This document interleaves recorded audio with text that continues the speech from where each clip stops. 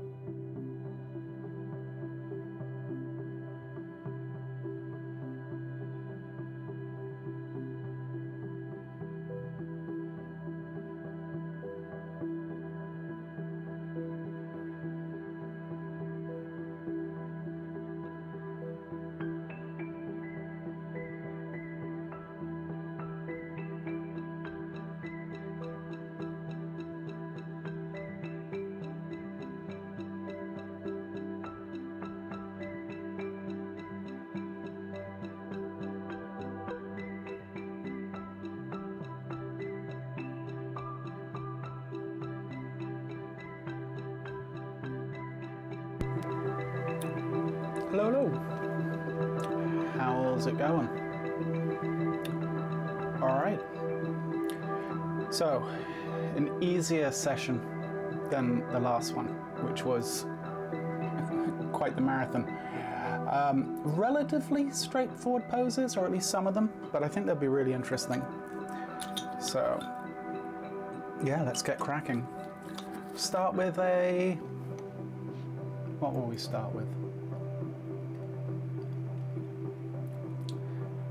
Start with a. I'm going to say 10 to 15. Let's see how it goes, depending on how quickly, how quickly the drawing goes. All right let's um, let's give it a go. Let me change camera and uh, let me hit the timer. All right. I'm here for the rents and a little art. Yeah, that's about right. We'll try and we'll try and do both. The rants will come if the questions come, because you know what I'm like. I can't I can't resist. Um, really want to push push the overall kind of dynamics of this. This hand arm is coming kind of this way and across. Obviously, this is a back pose for those of you who have the reference. So let's uh, let's find our spine. We're doing something like that, right?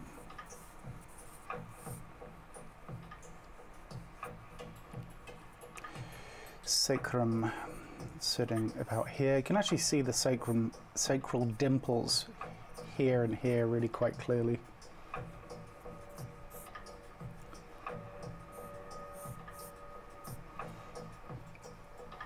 Okay.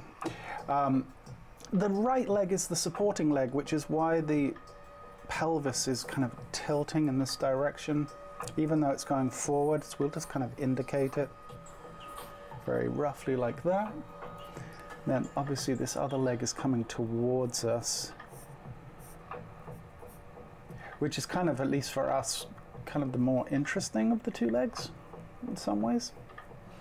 Um, okay, so sacrum, iliac crest is coming up. You can actually kind of see where the oblique is sitting and the iliac crest is kind of coming up this way. We'll find out butterfly motif sitting in there and there.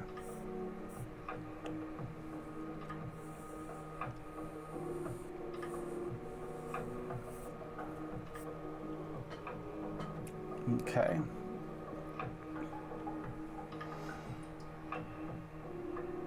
So the rib cage is sitting sitting about here, right? somewhere in there. Scapula, which was the topic of great discussion last time, sitting here. And you can see that acromion process that we discussed before. You can see that dimple, that dent sitting right about there, right? Same on the other side. Now the other arm is kind of going forwards. This one's kind of horizontal to us the other arm is kind of going forward, so the scapula is sitting more on the side of the form. It's kind of sitting about here.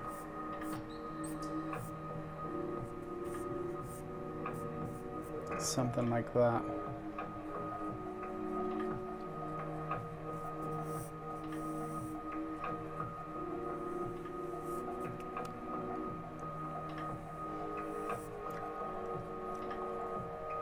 Okay. That will get us at least to the next stage. Let's keep going. Occipital ridge is sitting about here. Trapezius coming down like so.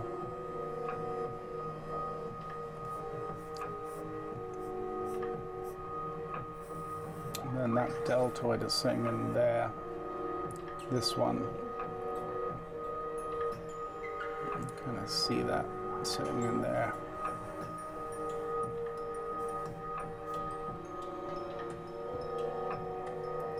This um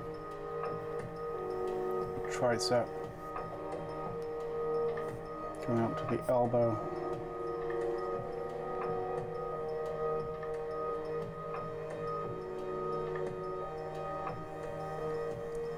Deltoid. and then the bicep sitting in there.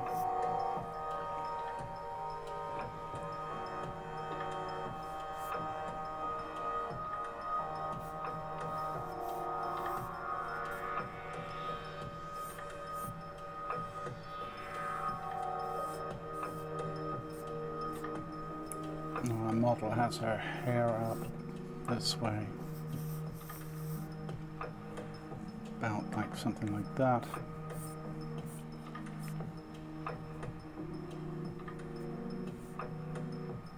Kind of get see a hint of that trapezius. You just get see the shadow of it there.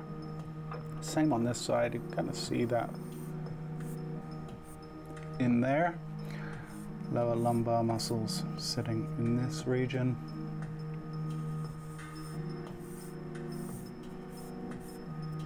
Okay, that'll get us where we need to go.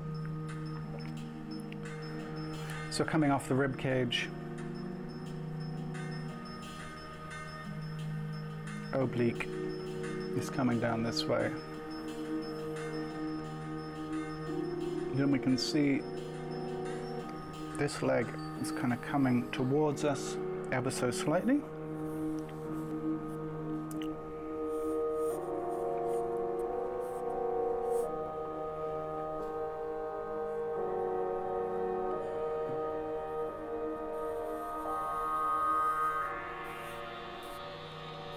And then we've got the overlap of the calf sitting in here.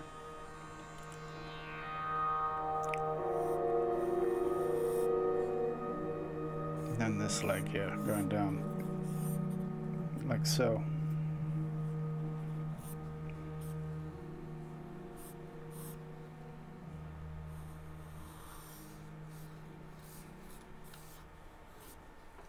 All right.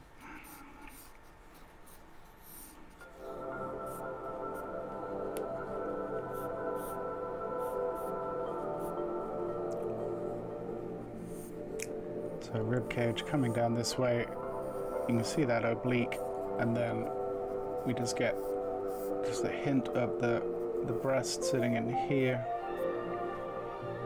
something like that.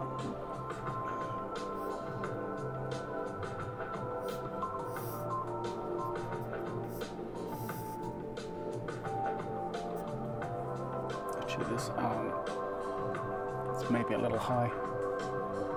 Or maybe not actually. Let's see.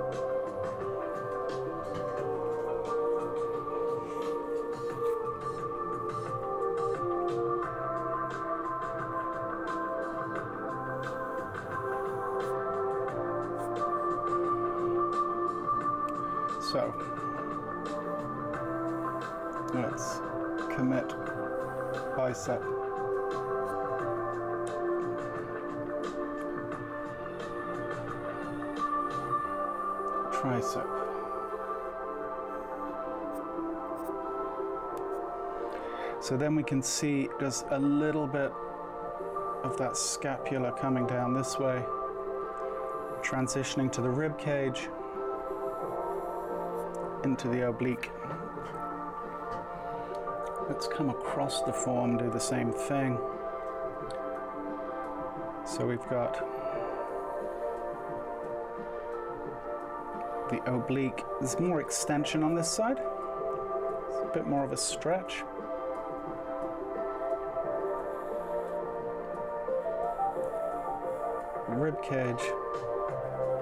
then coming onto the scapula,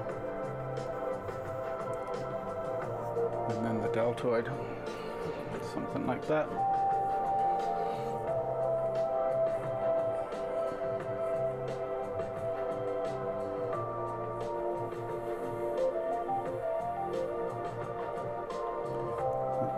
Coming into the widest part of the leg there.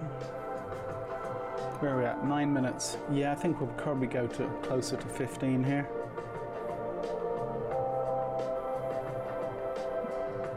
We've got the gluteus sitting in here.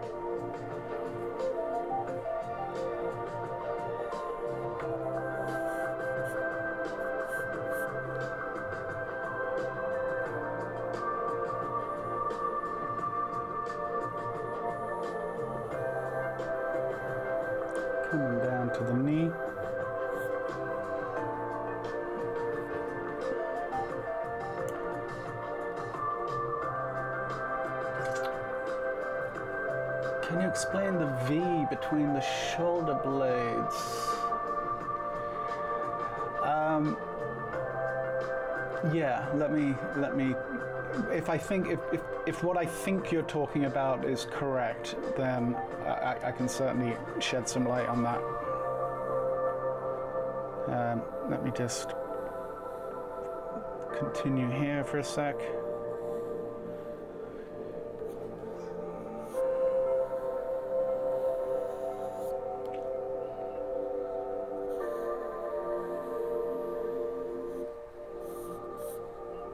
Then coming down to the Achilles tendon. Oh, you can't even see that. Okay.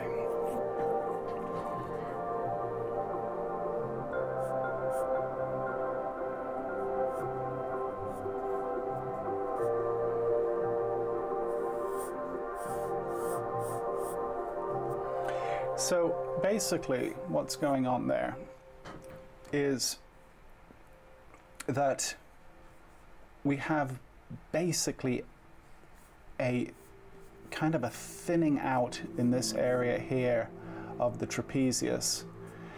And it's at this point right here that we actually see a vertebra. Um, we see two vertebrae mainly in that area, which is C7 and T1, cervical 7 and thoracic 1, which are the where the um, vertebra of the neck um, connect with the vertebra of the rib cage. So yeah, we get this thinning out um, in this region, right in this triangle right here. Um, and that's what creates that light um, or the shadow um, as it moves across, as the light moves across the form, or you know what I mean. Um, so yeah, that's essentially what's creating that.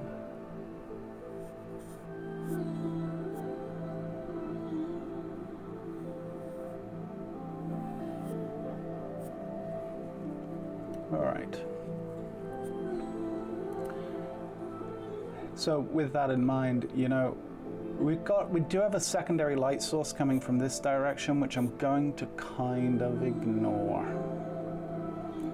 Um, so with with that said, you know, we can see tone sitting in here, right, and then kind of coming down this way, doing this type of thing in this area. Yeah, you're welcome. Um, let's find.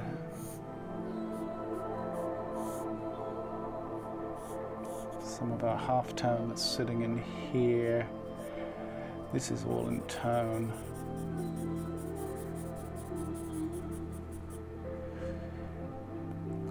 So then as we come across lights coming from this direction, kind of keep reminding myself of that. Um, so we've got a cast shadow here, or core shadow, sorry, as the form turns, going into reflected light down here, and then into the cast shadow, which is heavier sitting in there. Then on this side,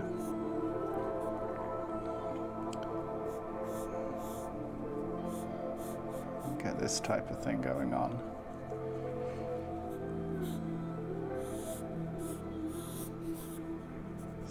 Something like that.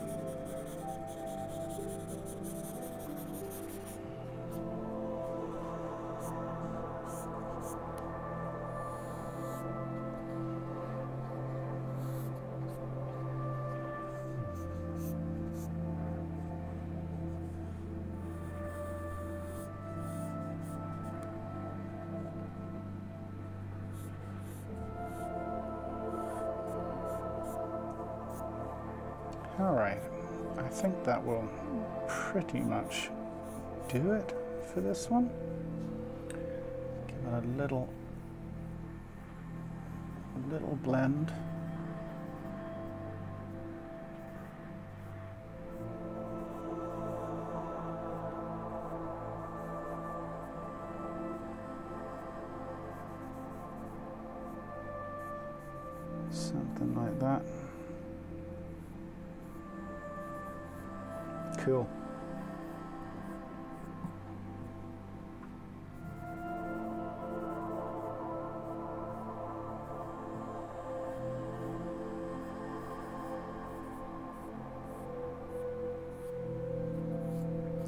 480.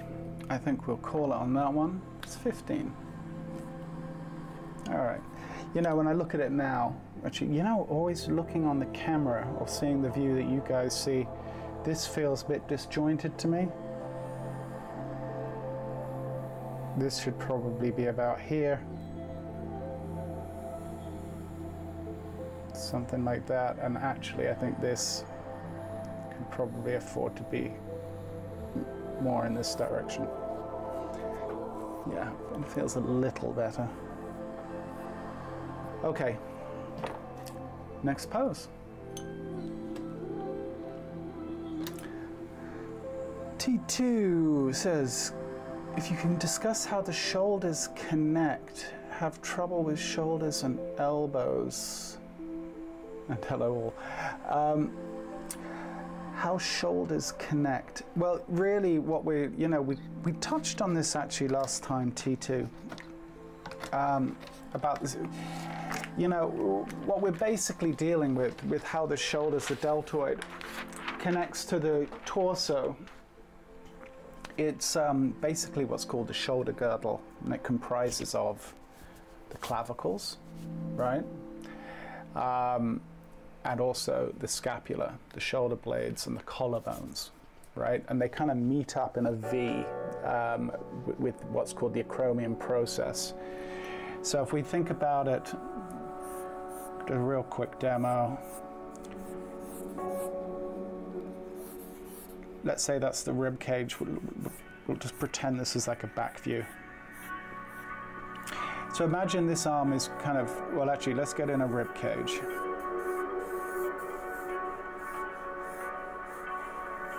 Something like that, right? There's the occipital ridge back here, trapezius coming down this way. Let's say this arm is kind of going up this way, just for the sake of the conversation. The scapula is going to be sitting somewhere like something like this, right? Because the arm is going up. At rest, it's probably more kind of like this, right? But this arm's going up. So basically the, the, the, deltoid, the shoulder muscle, connects at the clavicle and at the scapula at the back, right? Um, but you can think about it, you know, if we just put in a mass for the deltoid, the, the, the, the deltoid is attaching, there's three heads, three main heads to the deltoid, and one head is attaching to the spine of the scapula. So it's kind of coming like this, and then the other, the front head is attached to the clavicle, which we obviously can't see, but imagine like the clavicle's coming up this way, right, with transparent. And that's attaching like that. And then obviously the bicep and the tricep and that are coming up this way. And then obviously into our, um, our forearm. So at the, on the scapula, there's this little thing, coracoid, oh, not coracoid process. Um, God, just, the name has just gone right out of my mind.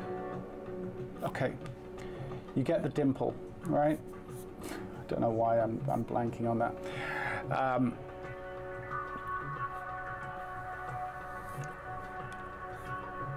and that's the end of the scapula right there, okay? Then you've also got the trapezius which will be kind of bunching up slightly on this side, right? As it kind of comes to here and then up this way. Um, so you could think of it like this type of thing, right? And then you've got the trapezius, which comes down, obviously, down this way, doing something like that. That's basically, very crude demo, but that's basically what's going on.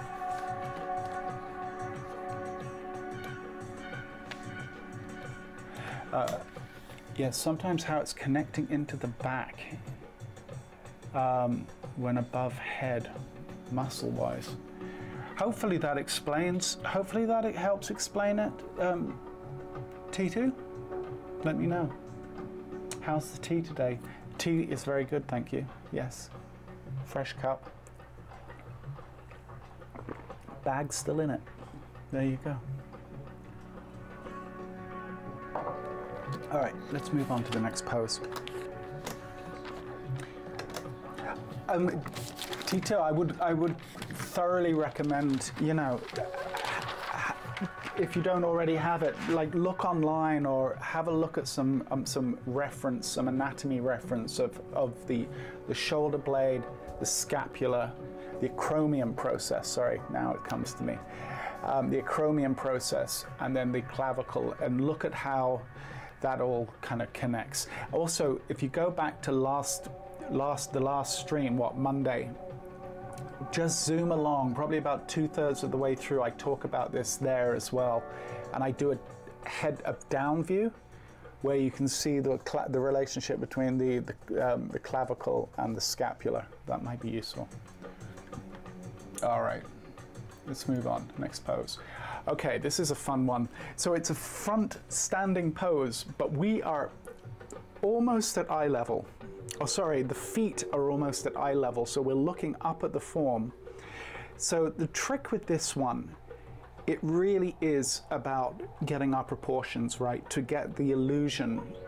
So she doesn't look like she just has super long legs, right? We get the illusion of the camera um, space. Any chance of going over the specifics of the elbow at some point too? Yeah, we can. Like, uh, what I would say about the elbow is it really depends where, what angle. I, well, we're talking about the elbow region. Are we talking about it from the front or from the back? Because they have obviously there's different things that are in view. We can certainly discuss it. Once again, I think you'll do you'll do very well looking at an anatomy book or anatomy reference on how the, the tricep comes down, the fascia connects down at the elbow, and how the muscles of the forearm overlap that and attach to the humerus. And you can see that you can see that relationship. If we have a view where it's pertinent, I'll certainly bring it back up. All right. Um, okay, let's let's map our Oh, I should reset the clock. Okay, let's map our proportions first here. So we've also got, you know, this great rhythmical idea. I talk about a hip push, right? Hips pushing up this way. Something like that and then this leg is really pushing down like so. Really a lot of dynamics in this pose. Um,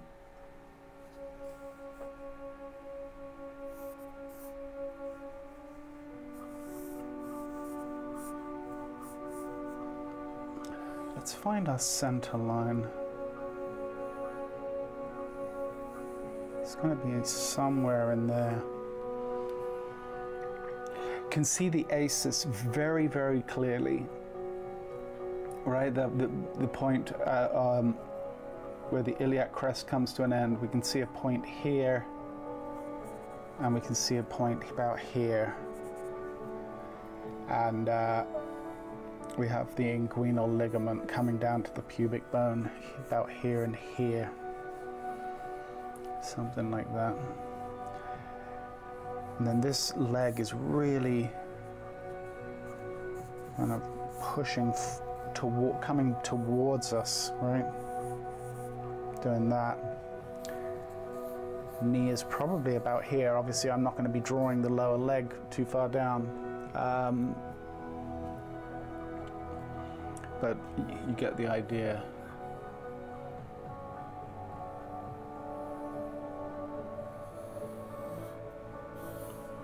Something like so. Um, yeah, so iliac crest coming up this way. Same on this side. So this is where the, kind of some of that foreshortening is going to display itself. Is arch of the rib cage starts really quite high. Starts about here and comes down this way.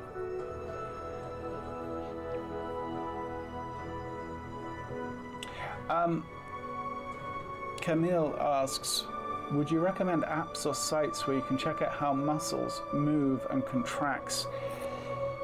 Yeah, that's a really good question. Um,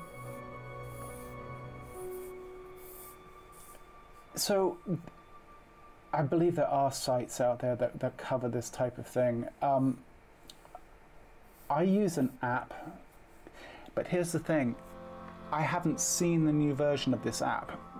F- from what I understand, it covers like the contraction and uh, um, you know expansion of muscles. Uh, I use an app on the iPad called Essential Anatomy. I think it's at five now. Um, essential, uh, mine is I think Essential Anatomy four, I believe. Um, but it's a fantastic app, and I believe that the, the advanced, the new app will literally let you move body parts and let you see the um, the contraction um, or the extension of the muscle. So I would check that out. I'm, as I said, I'm sure that there are sites that deal with this as well, but I'm not kind of I'm not at that point anymore where I'm really in the market, if you know what I mean. So I don't kind of keep up with it. You can see the scapula sitting right there. This is obviously the deltoid, what will be the mass of the deltoid coming up this way. Um, then the clavicle going down this way. Head of the humerus is going to be about here. This arm is doing something like this. This one's coming back this way. Can see that pectoral muscle pull down this way. Actually get a peek of it right about there too. Um,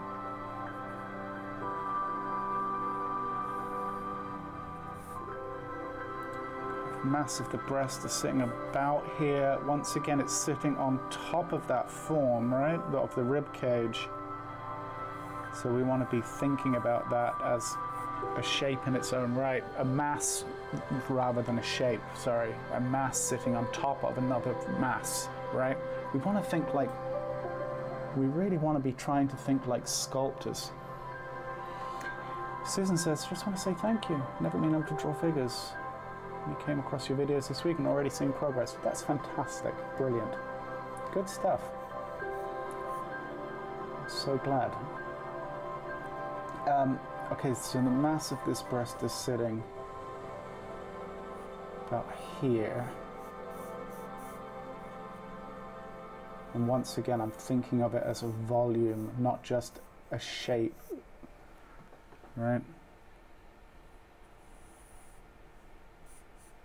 I will tweak that as needed. I'm just still very much at the overall proportion stage. Halfway between the bottom of the rib cage and the top of the iliac crest, we've got the navel sitting about here. That's coming down this way.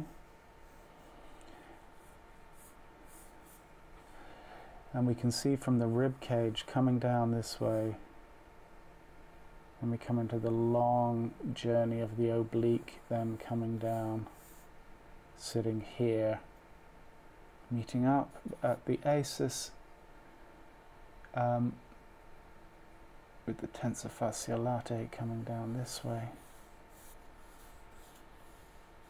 And then we're coming down to the hip, down here. Oh, yeah, our music's done, huh? Sorry. Let me find a. Okay. let's keep going.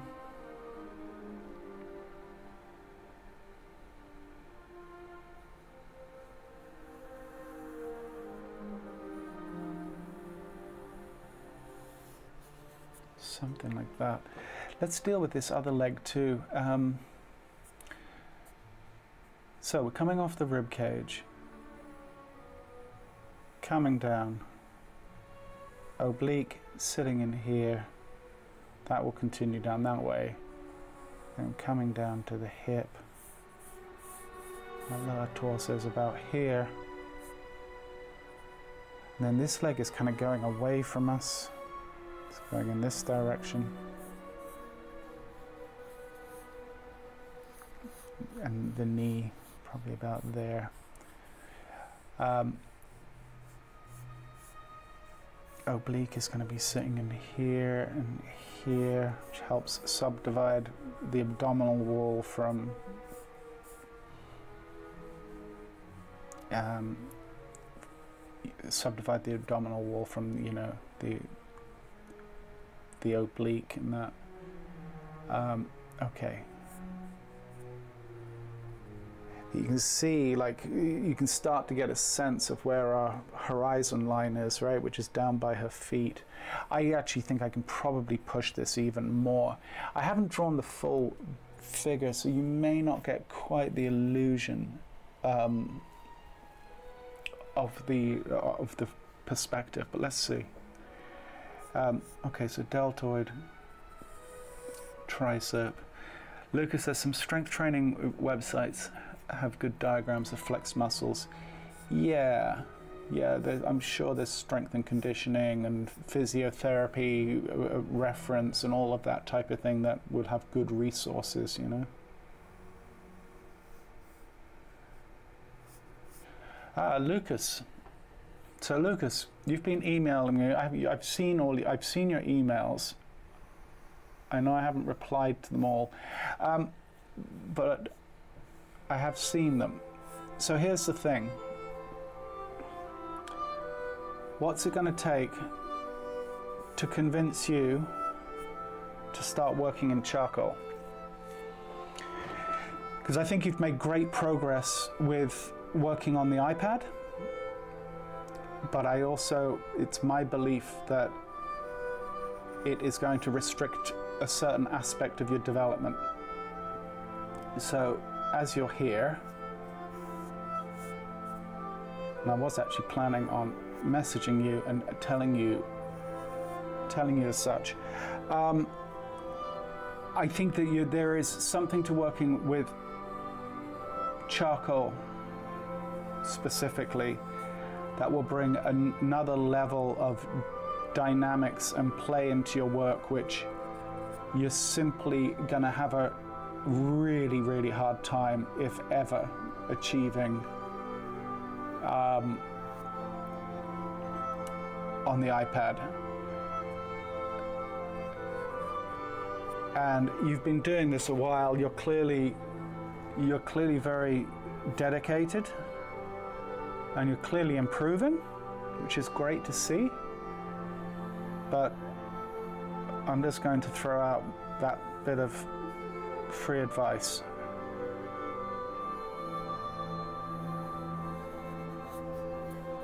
So do with it what you will. I'm not saying you have to follow it, but my advice would be get off the iPad and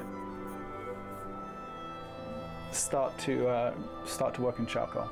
Okay.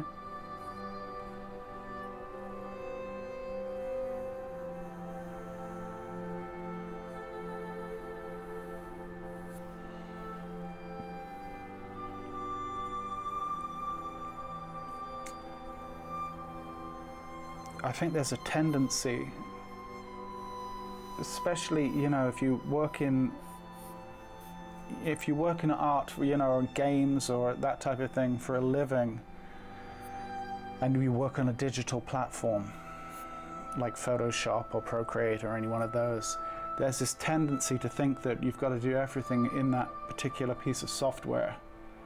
Um,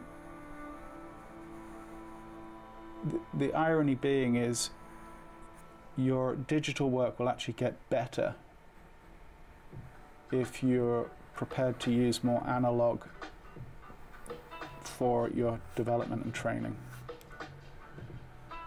So, yeah, just want to throw that out there. It's like people that learn to paint digitally, which I think personally is not a great strategy.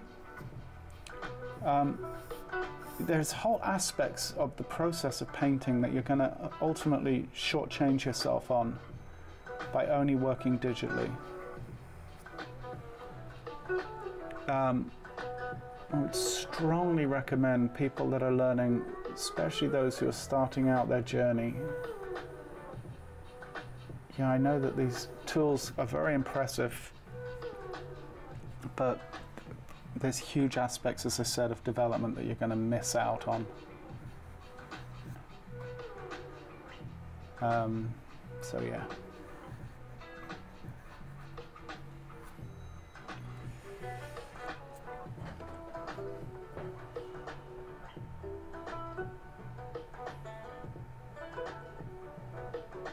So tricep.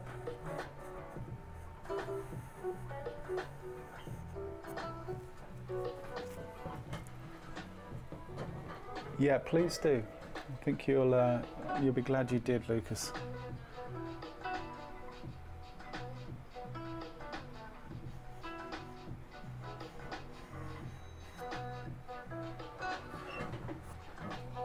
I always find it very strange when people say they don't have room for traditional materials. It's like, not saying this is your in your case, but I've, I've heard people say that I don't have room. It's like a board and some paper does not take up much room, you know?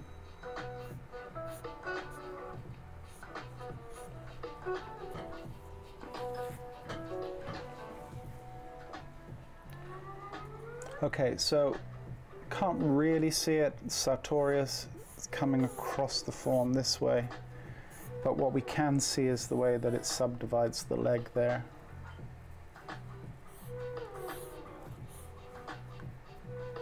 Where are we at? 14 minutes already. Gosh.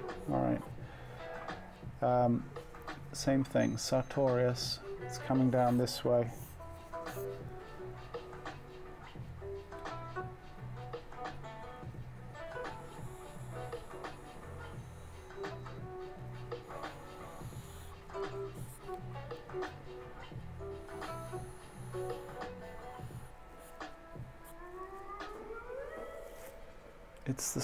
Marks everywhere.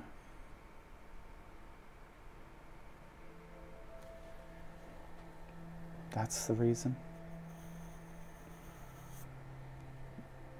The whole point is the smudge marks. no, look, we all get dirty drawings. It can happen, especially if you're working with a 6B like this. Um, yeah, it gets dirty. But with that dirt, comes the potential for incredible expressiveness, right? So it's a trade off. Um, yes, you'll have dirtier drawings, at least initially,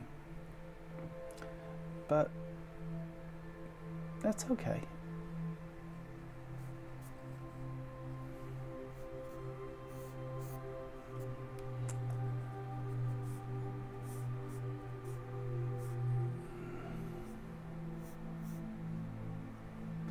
Just very, very lightly indicating some some core shadows here.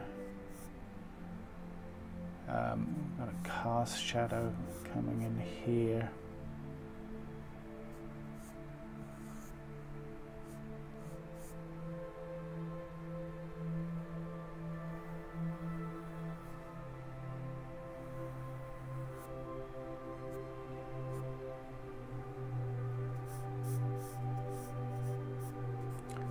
Not going to belabor this too much. I want to move on to the next pose, but we'll just kind of indicate a little bit of tone because once again, it's just really useful um, to help describe form.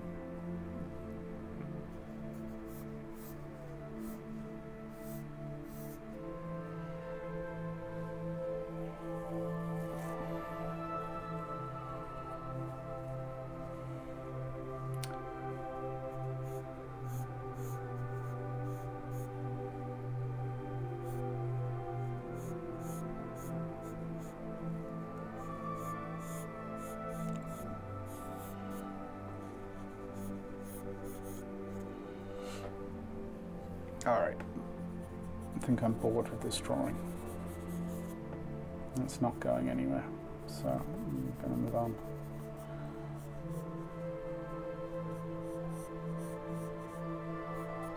Kind of got the overall gist of it. Not crazy about it, but I think that's long enough. Um, Laurie says, I think you're absolutely right about digital painting. Is a media like oil, gouache, pastel, and acrylic, but definitely the one you should start with. I've tried that. Shouldn't start with. Okay. Um, yeah. Well, and also I think that there's well, there's a few things that need to be you need to be mindful of with digital painting. Is you're not going to really get a full sense of the relationships of how colors mix and color harmony. Um, or it's going to, the journey is going to be a lot longer than sitting with two different colors, mixing them together, seeing those relationships and how they interact together, right? You're going to get a much faster, you're going to build a much faster sense of um, yeah, uh, color and, and it, its relationship. Um, also, the other thing that you have to keep in mind with digital painting is essentially everything is backlit, right? You're not you're not painting in the same way like you, are against the surface, right? Which the illumination is coming from above or whatever. In digital painting, the illumination is coming from behind, so that affects the relationship of how colors react to each other and, and the, the play between them. Even if you're in Painter and you've got the color mixer and all of that, it's not the same. It's not the same. There's a place for it. In production, absolutely you should paint digitally. Um, I also think there's a lot to be said, and the same with charcoal. There's a lot to be said for not having an undo button. Yeah, I know it's scary. Trust me, there are times I would like to control Z after I put a line down, but unfortunately. Well, fortunately, we don't have that. I do think it's a fortunate rather than an unfortunate. Um, because the other thing with painting, also painting traditionally, it really forces you to think about the mark that you're making rather than just knowing, well, if it's not right, I can undo. You shouldn't paint by, tri- by trial and error, waiting to get lucky right? Like, you, oh, that doesn't work, undo. That one, oh, that doesn't work, undo. Much better to work traditionally and where you have to be super deliberate about each, each line that you put down. I need to grab my other board, which is luckily right here, because we are going into landscape mode for this one.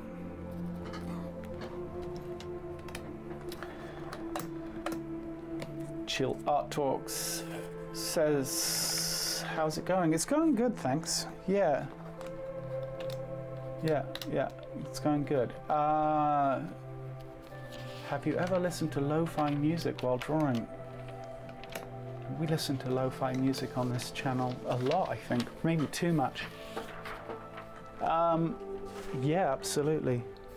I like things generally when I'm drawing or when I'm working I like music without vocals. That much I do know. What angle do you have the board at? Thanks. Um, I honestly couldn't tell you. I, I, you see, here's the thing. If I was just drawing without having to draw for camera, I would literally just take the board, lean it on my lap and on the table in front, and then kind of scoot back until the angle felt right. If I had to guess, this is probably about a 30 degree angle, I would imagine. Um, I never measured it. I built, and I can show you really quickly what I built here. And the only reason I built this was so I had something consistent for camera, right? It's not because this would be my preferred method or anything but I built this little back on the thing, right? Um, and it just means every time I know, see, It's back, right back where it should be, and its relationship to the camera means that you're seeing it roughly straight down. But if I'm just drawing, like if I was in a figure drawing class, I would either lean against a stool in front, or a chair in front, or the table. If there's a table, and I, as I said, I just put the board on my lap, lean it on the table. I'd even do that here if I wasn't, you know, because actually where this is is not quite perfect from, for my comfort. It's great for the camera's comfort, but it wouldn't be my perfect um, angle or anything, you know, if I was not drawing on camera. Um,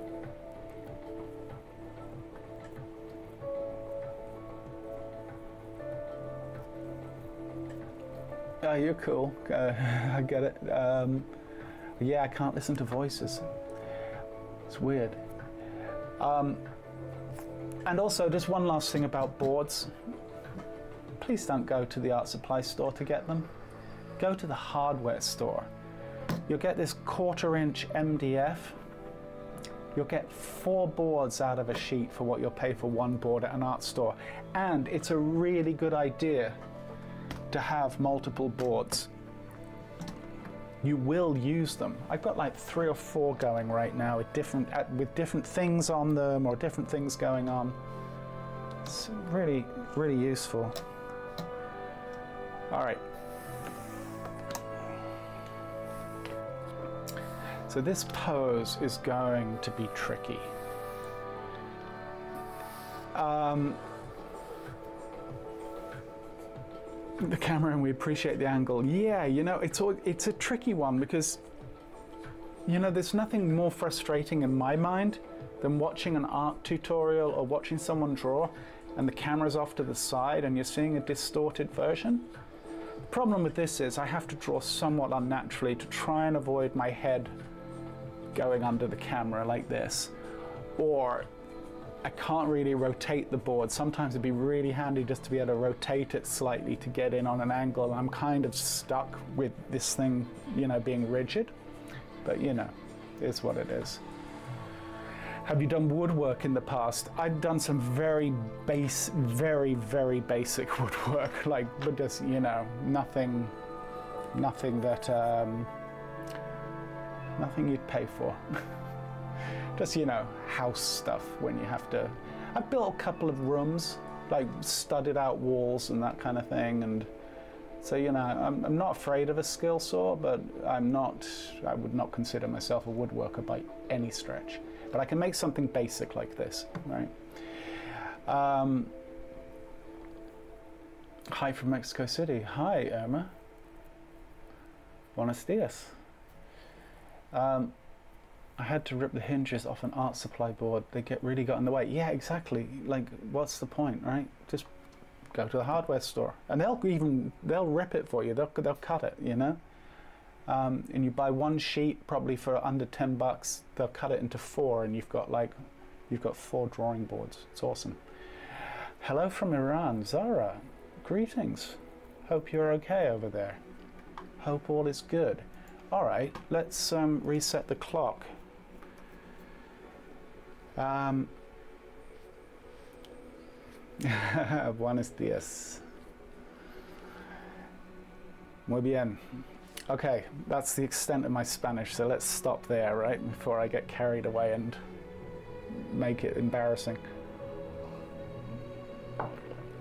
Okay, reset the clock. So, this is a complex enough pose in some ways, right?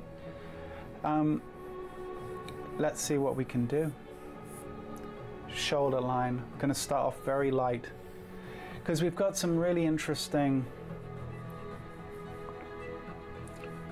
got some really interesting angles foreshortening. There's a lot going on here. It's really interesting pose.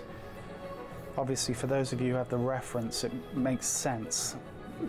For most of you who don't, my drawing isn't going to make sense for a while. Um,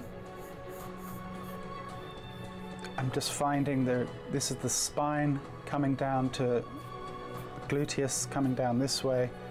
We're kind of looking, for those who are wondering, we're kind of looking three quarter view down. It's not quite three quarter, but close. Um,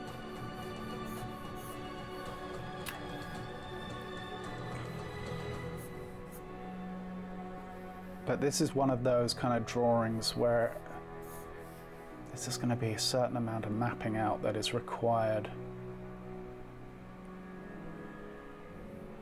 before we can get into the fun stuff.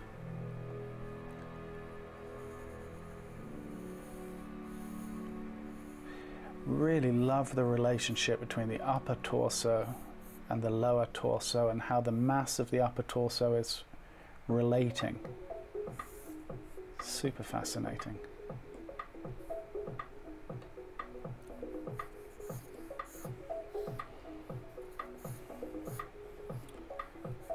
occipital ridge is about here, I would guess. So yeah, we've got foreshortening, we've got stacked forms here, and we've got a, you know, quite a contortious, is that a word? Contortious pose. Um, T2, we were talking about the relationship between the shoulders, right, earlier you can see that acromion process, right? Sitting right here, and then the scapula kind of coming this way and coming down the back here, and then coming across.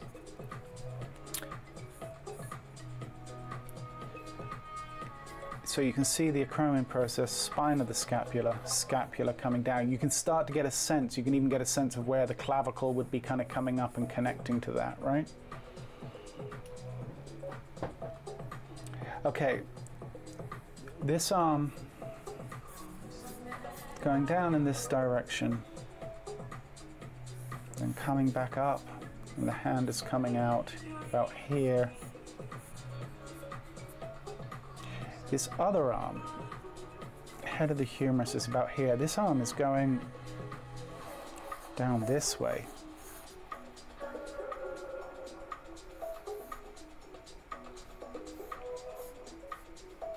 Right hand is doing something like that. Okay, that will do us for now. Elbow. Once again, we talked we talked about this earlier too, didn't we? Um, and the relationship between the how these things connect to each other. This scapula is pushed back, right? So this scapula is sitting about here. This one's here. Sorry, I'm just having to analyze what it is I'm looking at. Okay, head of the scapula, or the ridge of the scapula is about here, but this one is pushing in this direction. Something like that, complex. Okay. Brachioradialis overlapping and the, we can see the biceps sitting there and obviously tricep sitting in here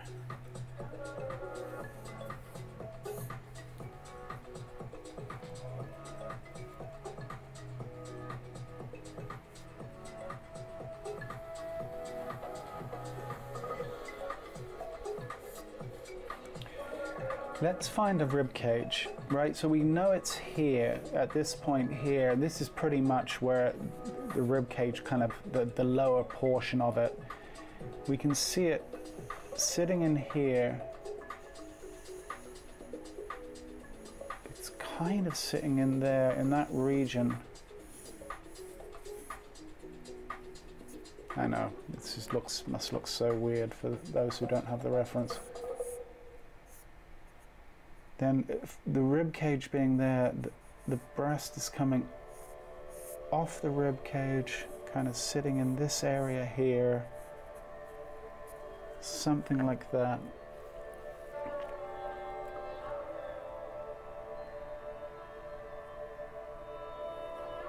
It's one of those I have to kind of just stop every moment and figure out what it is that I'm looking at. Okay, so the sacrum is here. And then buttock is coming down this way, gluteus sitting in there. Rib cage. This leg going away from us, sitting about there. Knee is actually about there, I think. So I'm going to push this all down a bit. And this is to sit here. This leg is coming down.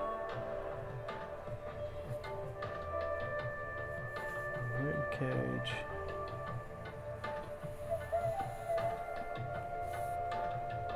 Yeah.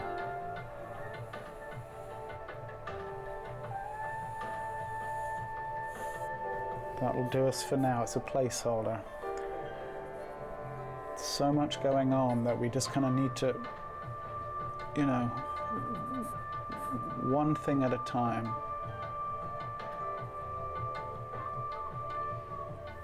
So that scapula is sitting there.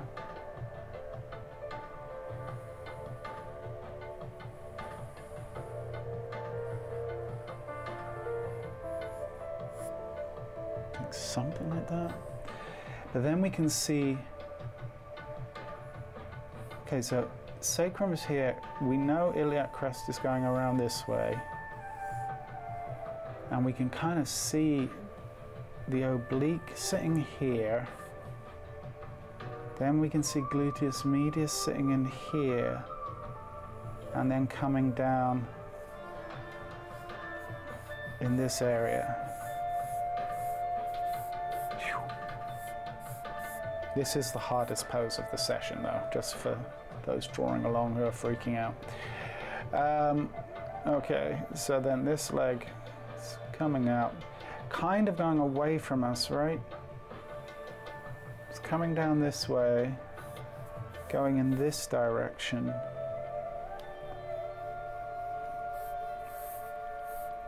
But then the calf is very much kind of coming towards us. This way. You see that's almost going like that.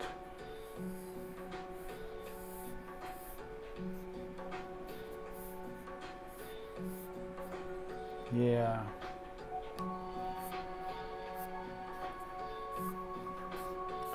All right, we're getting there. Mapping is happening. Um, heel of the foot is about here foot going down that way. All right. Cool.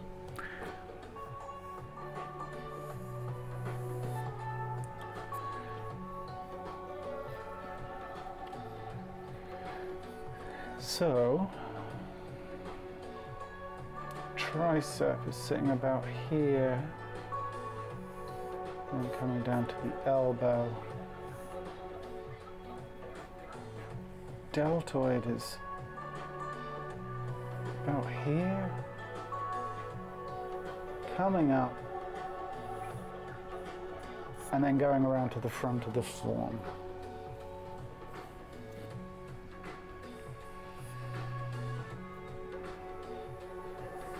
Sitting in there. All right, good. Forearm. Coming up to the wrist.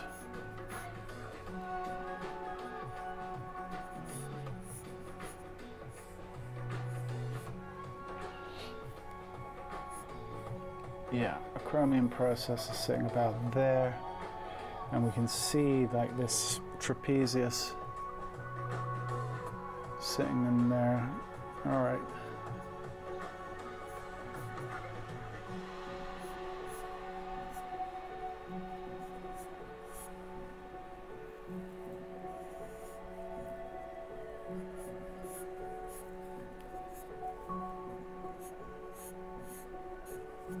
something like that. Crazy. So we can see a little bump of the clavicle coming from the front of the form sitting there.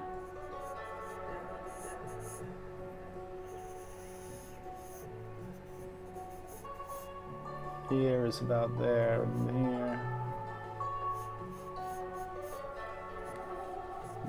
Head going off the screen there, off the page.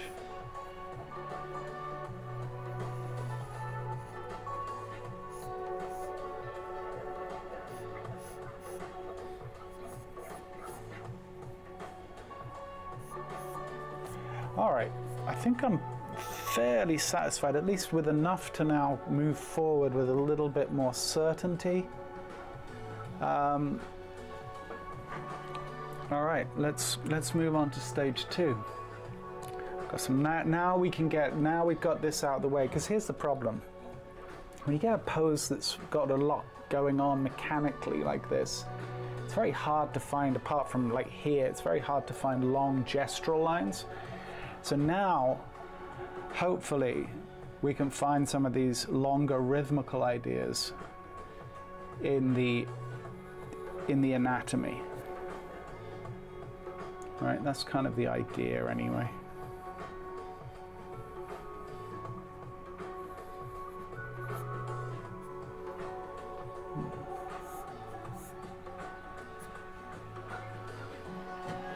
So whenever I have a foreshortened pose that requires, you know, a lot of like mechanical thinking, diagrammatical drawing, I just kind of I put the long gestural stuff on on hold for a minute while I I do the math, so to speak. But now we can have a bit of more fun.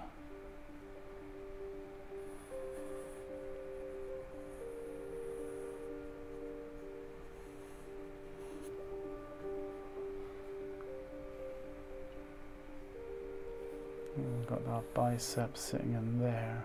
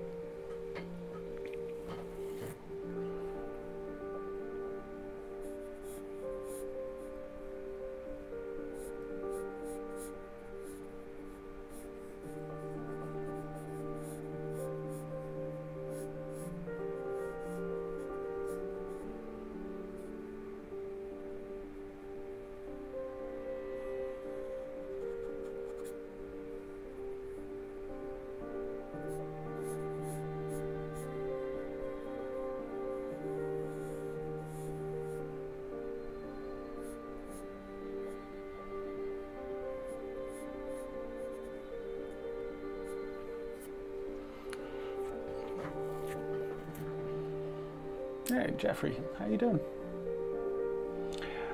Um, you've arrived at the perfect time. Okay, let's find. We've got this beautiful scapular shape in here, which I want to at least try and uh, do some justice to.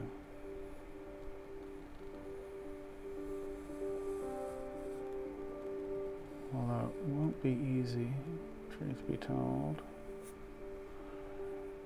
All right, that will be its placeholder for now. So I'm to move over this arm just a tiny, tiny bit. Actually, I may not need to. Let's see.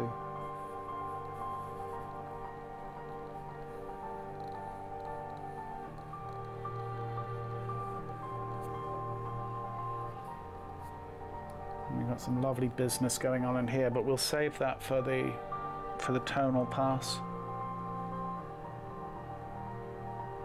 Oh, that We've got this great compression here. brachioradialis revealing itself right there.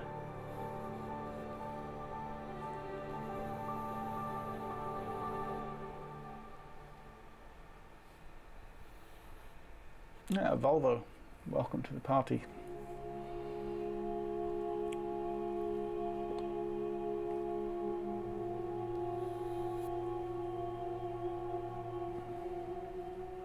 So coming across the former, because there's such a subtle turn here, deltoid starts about here.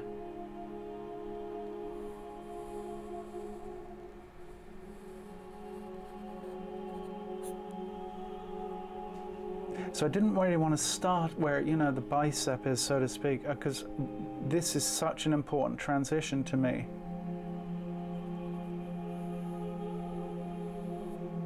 Makes sense to kind of just separate them as two ideas. If that makes sense? Probably doesn't.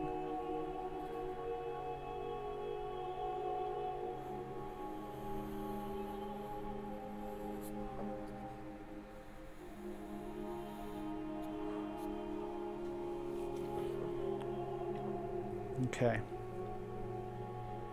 Got compression there. Can actually even start to subdivide some of our flexors and extensors here. Very, so very, very, very, very, very, very subtle. Same thing with our, our tricep coming up this way, meeting up with the deltoid and then this whole area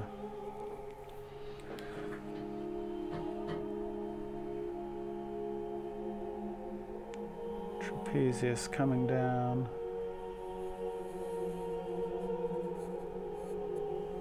somewhere in there I think we're going to be going another 10 on this one at least it's just it's just what it requires Hey, Lulu. Welcome. Okay, let's keep going here.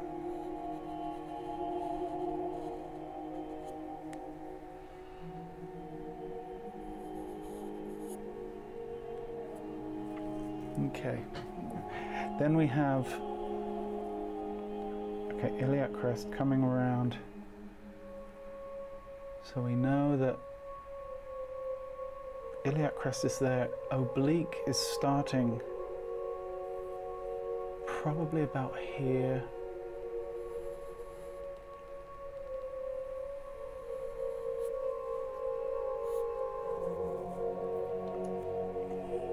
Yeah, yikes.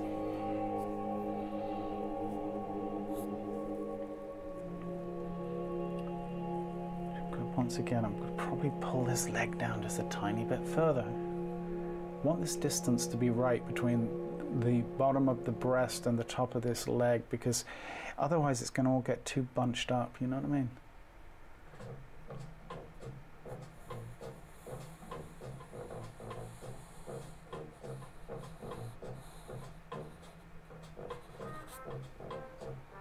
So then we will we will bring down the thickness of this. We'll, we'll pull down just a little bit.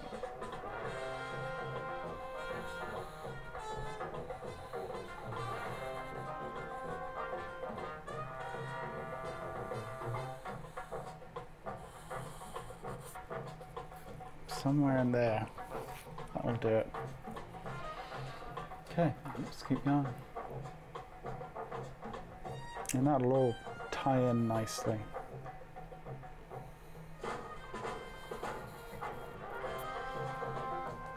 Yeah, something like that. Um, this pose requires a ritual sacrifice um, of another 10 minutes. Yeah, at least. I think it's just it's very. It's just a very complex pose, and it's kind of like the long pose of the session. So I'm just going to take my time with it.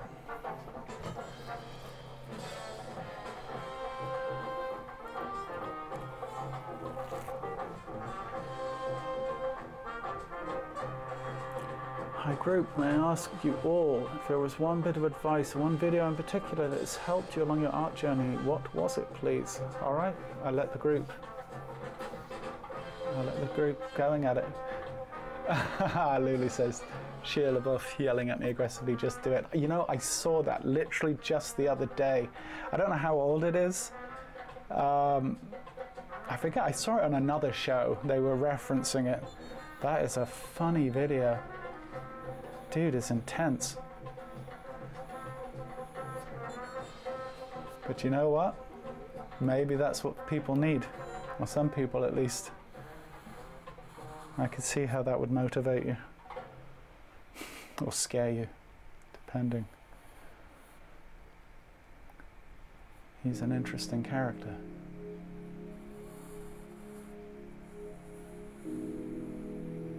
I think he may get a bit of an unfair rap. I think he, I think he might be a, he might be all right, Shia. Like sure he's intense, but you know. Although I really know nothing about him, if truth be told.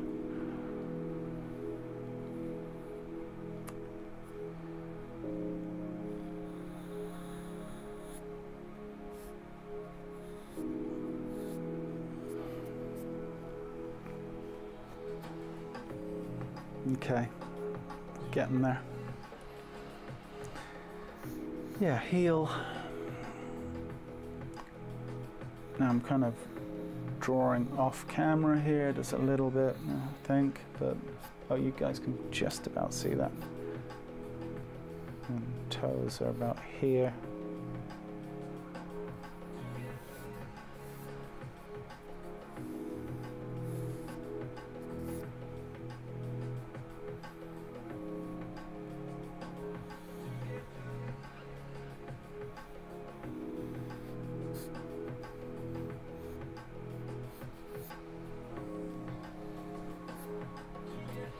All right.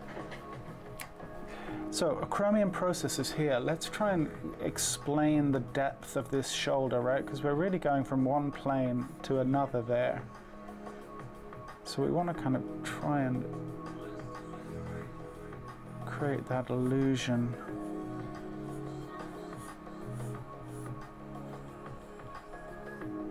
Then we have that thinning out again that we were talking about earlier right? Like in the trapezius here, like there's this V-type idea, very, very subtle. It's kind of sitting in there.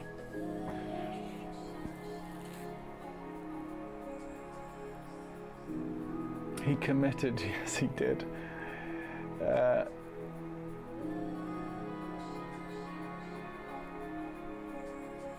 do it. nice.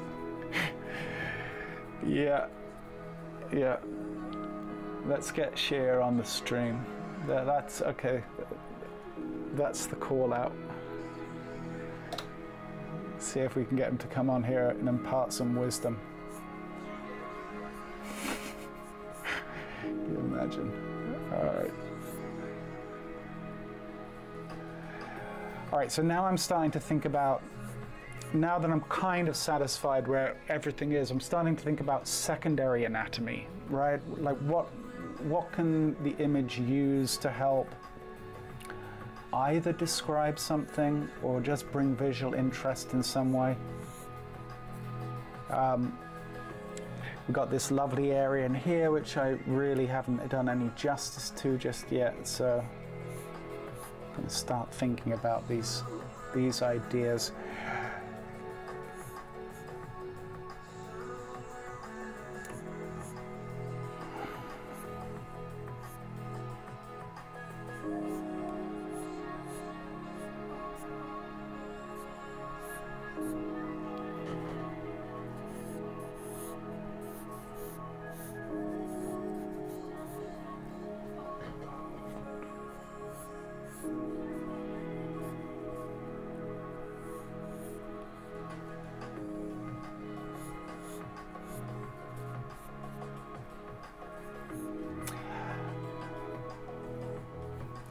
Very, complex lighting on this one.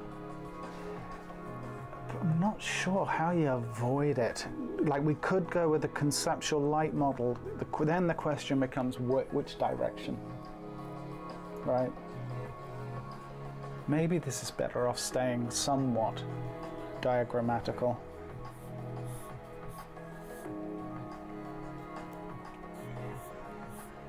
Let's see.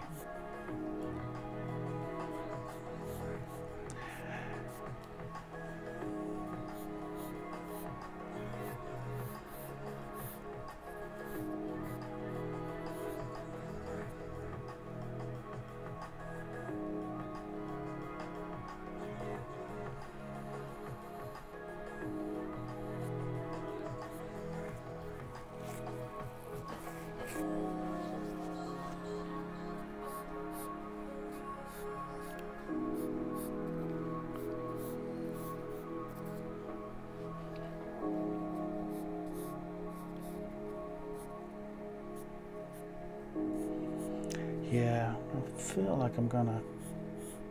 I'm getting close to calling it with this one.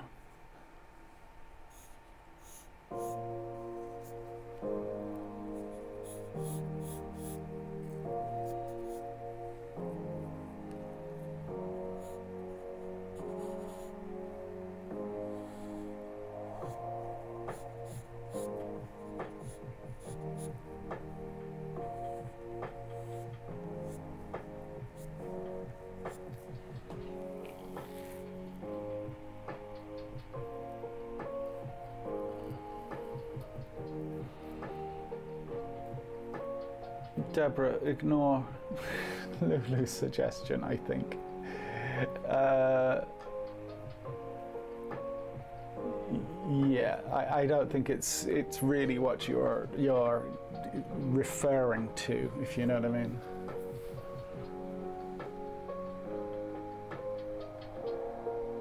Yeah, of course, Deborah. There's always the other uh, videos on my channel.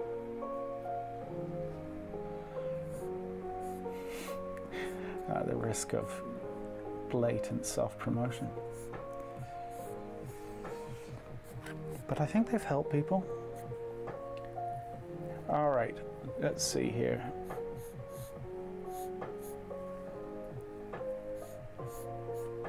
Yeah, I think we're we're really close here, guys. What a fun pose.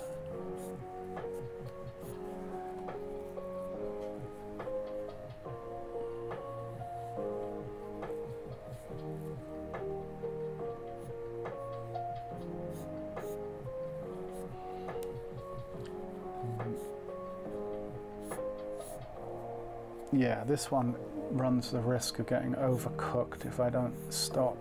So I think I'm going to uh, I'm going to call it. This is really what I would say pretty pretty much diagrammatical, but the inner diagrammatical parts are kind of serving as half tone, If that makes sense. Okay. um, Ah, so which one do you think is the most informative? Of my videos, Deborah? Probably the figure drawing fundamentals one. If you go to my channel page, you just go to popular videos, it will be the one, the most popular one. That one and the one where I, I it's called something like probably the most important lesson I'll ever give. I think those two, if I could only pick two to put in the, the time vault, Maybe those two. Um, all right, let's call it with this. That was fun drawing. Half an hour. Gosh.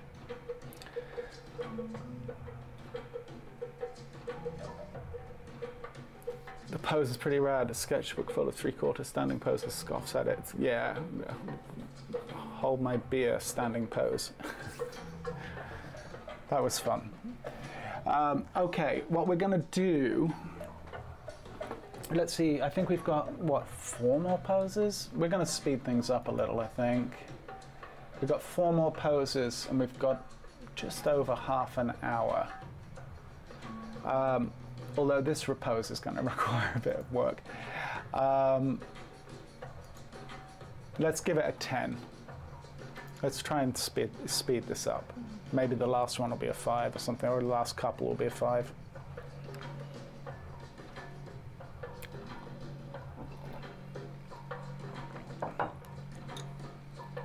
All right.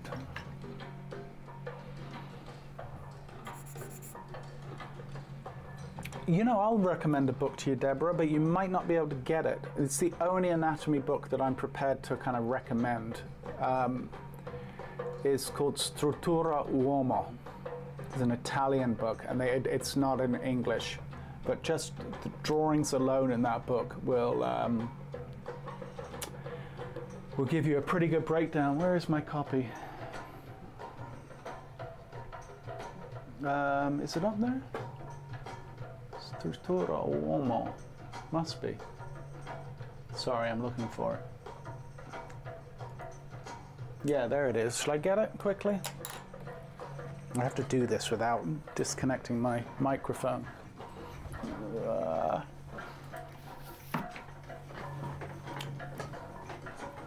all right, very, very quick show and tell.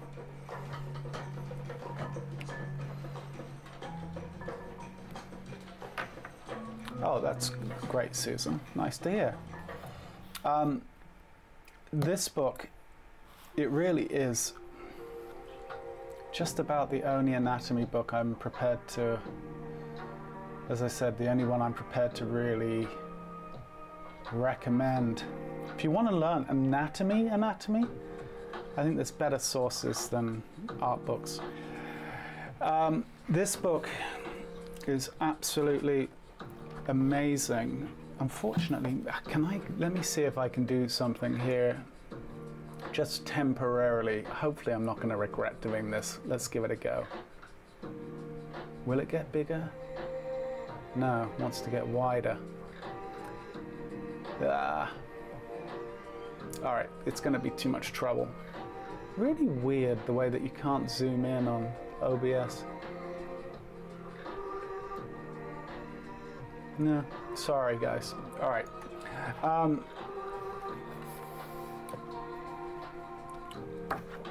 what I like about this book is it's very, um, it breaks things down in a very, what's the word? Geometric, geometric way. It really gets into this what the the planes how the planes kind of uh, relate to each other which then translates obviously to light and tone and then the mechanics. You know we were talking about the shoulder girdle earlier. This really is um, fantastically put together. Gorgeous book um, maybe I can zoom in quickly once again I'm prob oh no I can't sorry look for this book. That's all I can say. I believe there's JPEGs, or not JPEGs, PDFs bouncing around online of this. I don't endorse or recommend that because it's taking away from the publishers. The one thing I will say though is it's a very, very hard book to get hold of. Um, I've many books on art. If I can only take one to the space shuttle on my long-term journey. It's probably this one. So there you go. All right. Um, I just wish I could read Italian. I did even contemplate learning Italian for this book, but that felt a little excessive. Um, although I should probably learn Italian anyway, but that's a different question. It's on the Internet Archive, says Volvo. All right. I really disrupted. Don't apologize, Deborah. This is we go down rabbit holes on this on this stream sometimes. It's okay. It's nice. It's actually nice to have a quick break from drawing for just a minute. All right, the pose, uh, the timer is set. Let's look at this pose. Okay, beautiful, beautiful, beautiful, beautiful rhythmical ideas with her leg. So I really want to try, try at least, to capture that idea Let's see what we can do. Lower torso, upper torso, our arm going down this way. Iliac crest sitting quite high, right? Sitting about there. This leg coming down this way.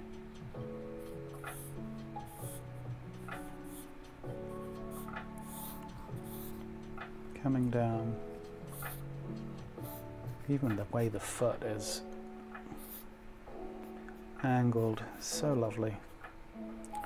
Just doing something like that. I've probably drawn that leg way too long. I'm going to leave it for now. Because you know what? It's such a showpiece. I'd, I'd almost sooner make the upper torso a bit bigger to accommodate it. Okay, let's, so let's just go with it for now. Rib cage sitting in here.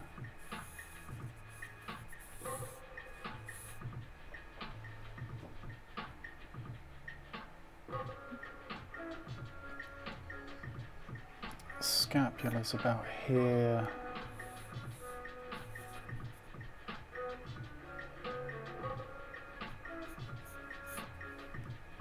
Arm, elbow.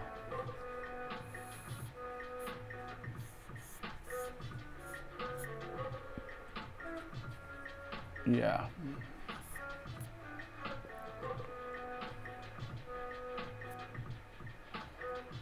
All I want to do is draw this leg. I'm getting sidetracked. Um, I'm wanting to keep going back to it. Um, okay, let's see. This arm's coming down this way.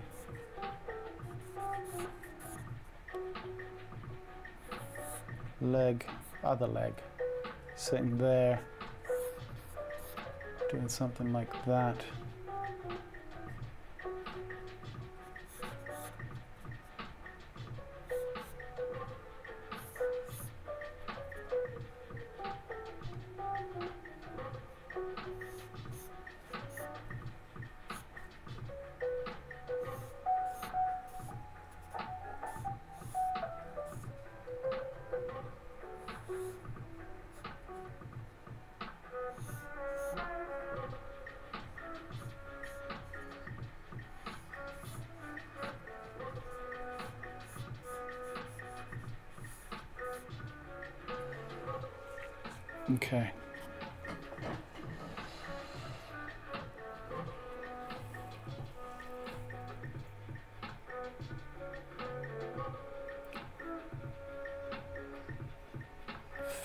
Fruitcake.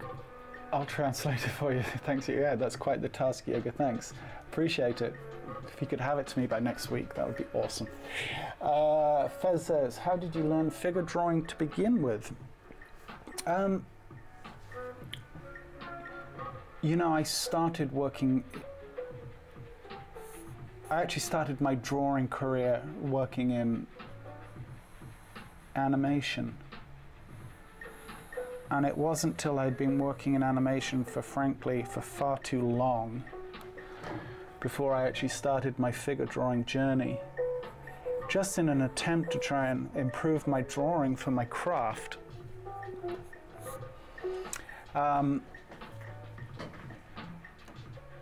and so study was kind of on again, off again to some degree or another, depending on how much downtime I had. Because downtime is a wonderful opportunity to hone or sharpen one's skills, and you know.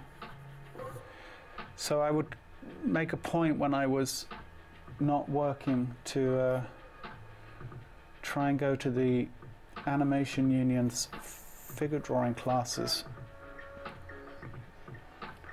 which I did on and off for several years.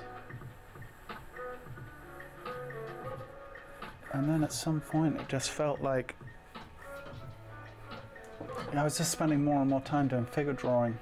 So I just, you know, it's one of those things you just kind of say fall into almost. to some degree, but it was always something that terrified me. You know, when I worked in animation, I knew it was something I needed to do to develop as an artist. And it scared the hell out of me. It felt so out of I felt so out of my depth with it. Um, but you know, it was just one of those things. It's like, all right, well, let's get comfortable being uncomfortable.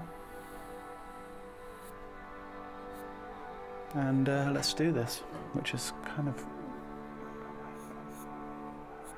you know, that's how we're here today. But it's not easy. Drawing is not easy. And I don't think it's talked about enough, honestly, because it's like, you know, you see you see the people's work that you admire and it's like you know sometimes it's hard to kind of quantify just how much practice has gone into it and all of that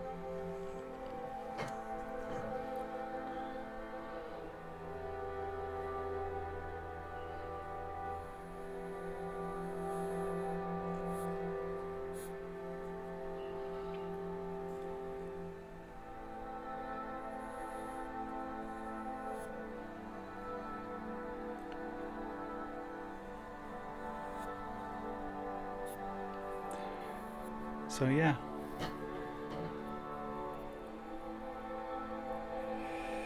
Um, no problem, huh? Yeah. Uh,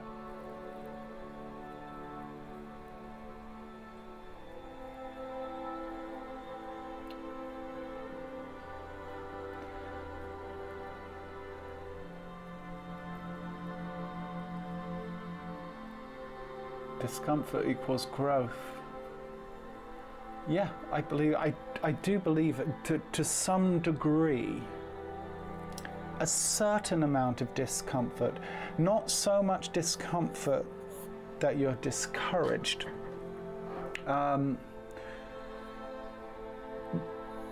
but you know, a small dose of discomfort each day is okay. We can all handle a small amount.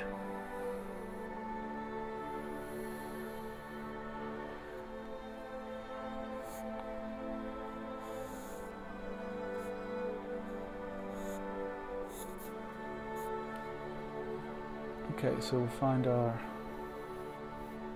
knee.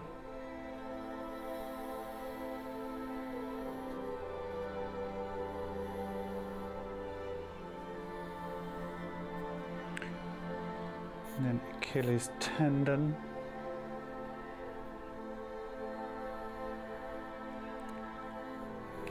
Heel.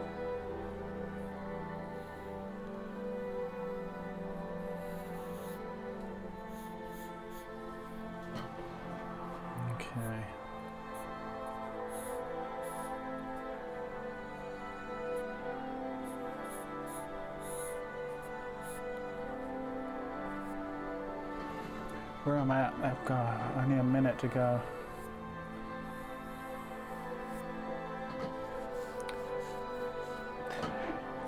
don't really want to describe the other leg, but I feel like I need to at least give it a mention.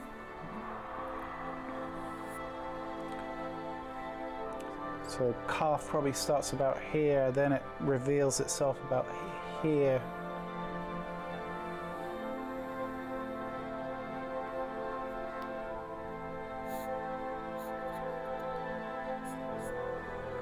Probably enough, that leg. Let's just get in a little bit of this shoulder.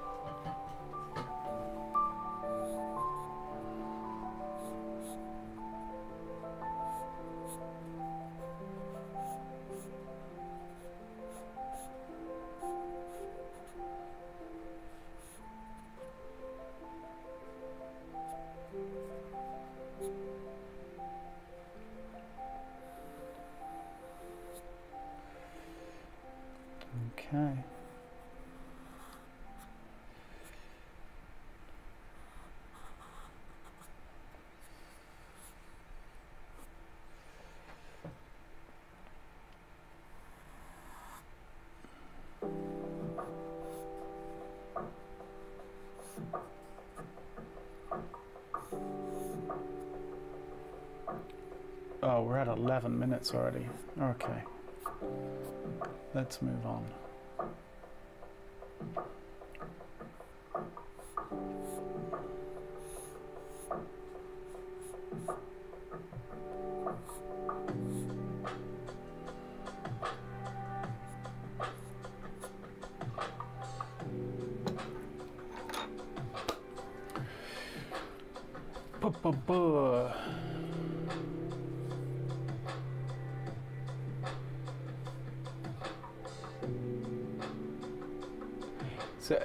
Chance to focus more on the leg? I have a problem with calf muscles. Um, Camille, that's a very good question. You've, I, I wish I'd seen your, um, your, your message a little sooner, and I could have been a little bit more descriptive about what it was that I was doing with it. Um, uh, what will we do? You know, let's do. Let's um, let's create a teaser. I will um, for next Monday's session. I will I will pick some I will pick some poses where we we, we examine that. All right, to some degree or another. Um, one thing I will say though, just generally, let's just talk about some some generalities right now about the calf. Maybe they're not generalities, maybe they're specifics. Um, there's two heads to the calf, right? It's two, like there's a head here and a head here, and you see this subdividing. This is a fascia that comes down and then kind of transitions into the Achilles tendon right there. The one thing I will say that's really important about calf, or just in general with this idea, is the sense of overlapping. Um, not starting and stopping forms at joints. Look at the way, like in, it, to some degree or another, the journey of this calf starts up here, right? And then we come down and then we continue down the leg. Because um, the calf, the, the, the, the, calf muscle is essentially attached to the, fe- uh, to the femur, right? Above the knee. So, and if you could see the reference, uh, hopefully that would that would be um, evident. So look, so one thing I think one of the pro- the problems is people tend to start the calf too low, where it actually starts it, it starts a good bit higher. The other thing is this area in here. There's a tendency to want to do a bulbous form for the calf here and then to kind of taper in this way. This mass of the, the, this fascia coming across the form here, um, that creates its own volume and its own mass, right? So what you end up with is actually a secondary idea as you move down into the leg. I also think it's useful with the calf to not only understand the muscle itself, but the muscles around it um, and their relationship to each other. Now, you don't need to go crazy with it, but if you can understand the large ideas, that might be useful. But as I said, Monday, I'm going to make a note to myself. Okay, I'm going to make a note down here calves. Calf Monday. Now I'll see that. You can't see that, but I'll see that note, and I will. Um, I'll make a point. Maybe legs. We'll look at legs in detail on Monday. How about that? Front and back. That'd be a bit of fun. The knee as well. is fascinating. One of my favourite things to draw. Um, all right, we have 18 minutes, and we have three more poses. Conte calf Monday. yeah, there you go. Um, so yeah, so Camille, if you don't if you don't see the stream live on Monday, um, check back and you'll see that we, we will draw legs from a plethora of angles. So it's going to be leg Monday. All right, we'll I'll talk a bit about anatomy and overall large ideas and knees. Knees are my favorite. Okay, let's do a five minute pose. Five, six minutes. Yeah, Conte Calf Monday. I like it. Um, anatomy so hard that no one spares time to draw calves. Yeah, but you know, I think it's. I think there's something to be said for that. Actually, I don't think people really understand how to draw knees either. Um, but they're really not that difficult. You just need to understand a little bit of basic anatomy, and your knees will suddenly be so much more interesting to look at. Um, all right, five minutes.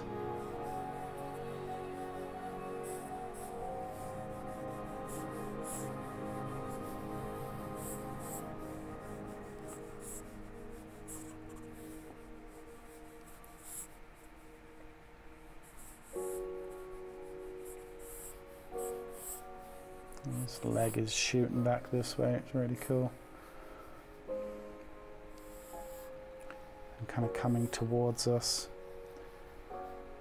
So I always think about the, you know, I think about, okay, I've got the hamstring sitting in here.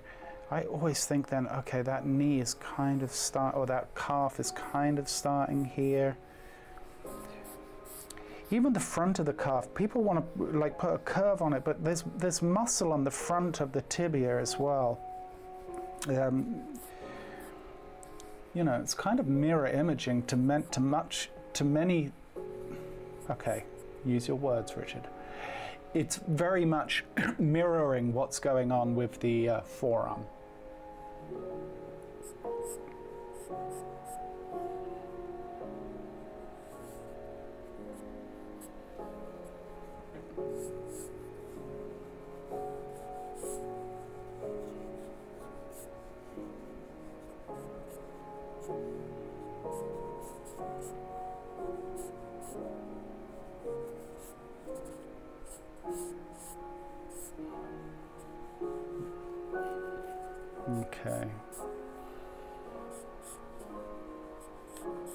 The hardest time shifting gears from slower poses to quick.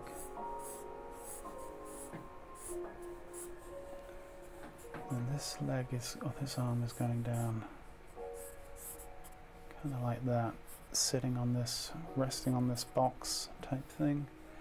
Yeah, look at that elbow, guys. That right there has got a lot going on.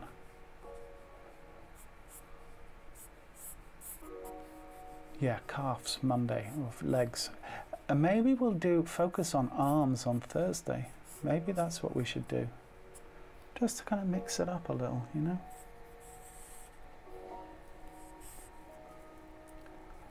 I think that would be fun.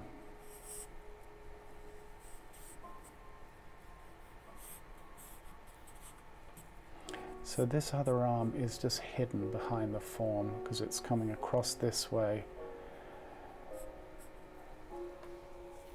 And it's one of those things, I'm like in the reference, we can just kind of see the hand revealing itself here.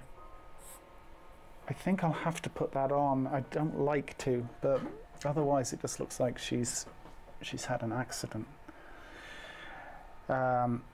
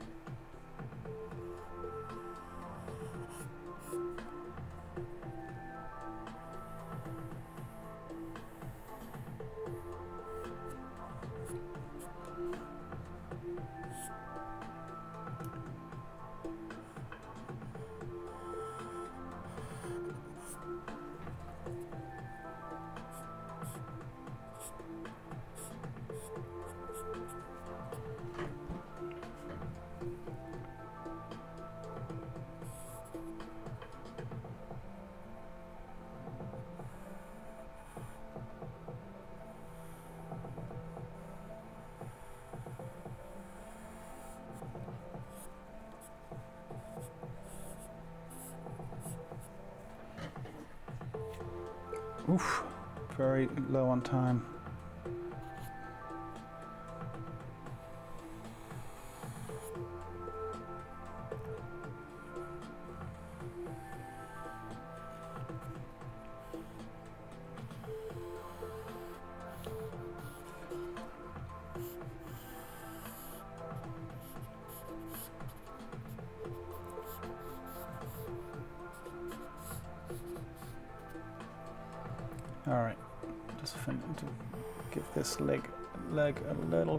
Attention, and then.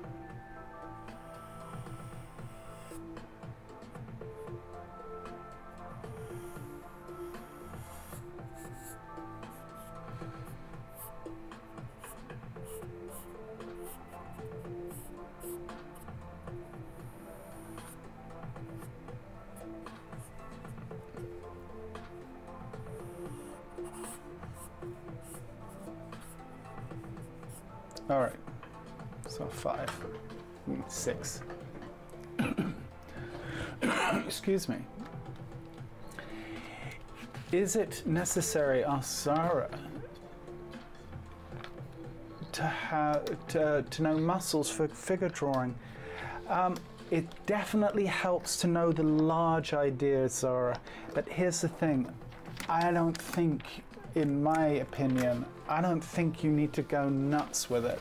I, you can, like you know, we can all jump down that rabbit hole. But I would say this: there's a few large ideas that you'll get a lot of mileage out of. Right? And if you understand those large ideas, and when I say large ideas, I'm talking about things like general placement of the rib cage, some some kind of um, landmarks of of the um, of the hips, you know, this type of thing. If you can understand like five or six of these large ideas and how things relate to each other, you get an awful lot of mileage out of that unless you really want to go into a deep a deep dive on it. So I'm not I, I think it's very easy to get intimidated by the enormity of what is learning anatomy, right? And I'm I try to be really conscious of that when I'm teaching. Um, and as I said, I try and teach the most important things first. Then we can get into that, you know, that tiny little muscle that sits between the bicep and the tricep, right? Like, but but understanding we have a bicep and a tricep first is really what matters, right? Then you can, you can subdivide and subdivide and subdivide, depending the depth. I would also say what matters a lot is do you want to do figurative art or do you want to be a character designer for animation? Because if you want to be a character designer for animation, guess what? You probably only need to know those large ideas and you'll get, you'll get a long way with, without knowing heaps of anatomy. It can never hurt, but if your time is precious or of a premium, then you know you, you, you pick your battles, right? Um, you know, I wouldn't want to try and impose my degree of kind of study of these things on other people um, unless they had actual use for it. If you want to be a figurative artist and that's how you want to kind of find your way in life, yeah, why don't you just spend spend a year or so just kind of going deep on the subject. Um, but you don't have to, not not initially. In fact, initially, I'd, I'd encourage you not to, because here's the thing: you could be you could be a bloody surgeon and be terrible at figure drawing, right? Like it, it, it, it, understanding anatomy is only one piece of the puzzle. How are you going to apply that knowledge? That's as important as the understanding of it, frankly. Um, you know, if, if all it came down to was an understanding of anatomy, every every doctor out there would be the next Michelangelo. It's, it's not, it, it's just one piece of the puzzle. Application of understanding is another is a, a large thing. She's holding onto a stick here, which is kind of going down in this direction. Um, application. You could get you could get by with very very few ideas on anatomy, but a great sense of style in your drawing. Um,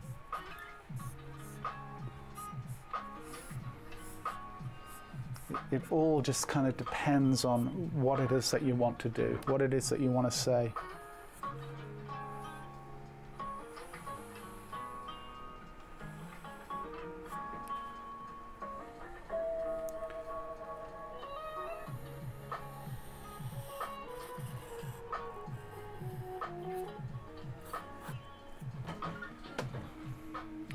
In saying all of that, I find it's a fascinating subject to a, to a degree.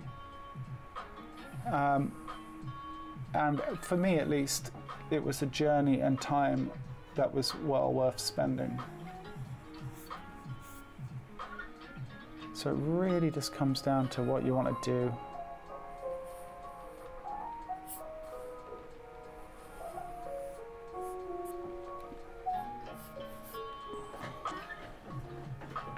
Yeah, you're very welcome.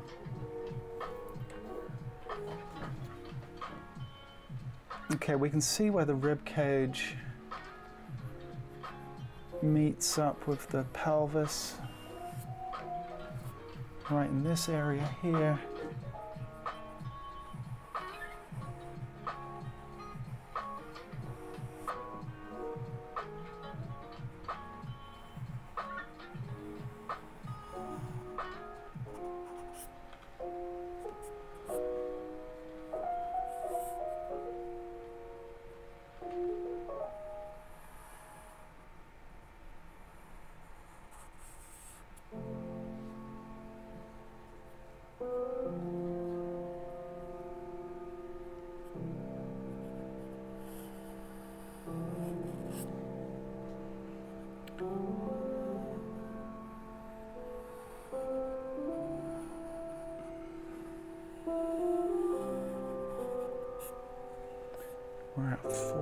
422. Okay.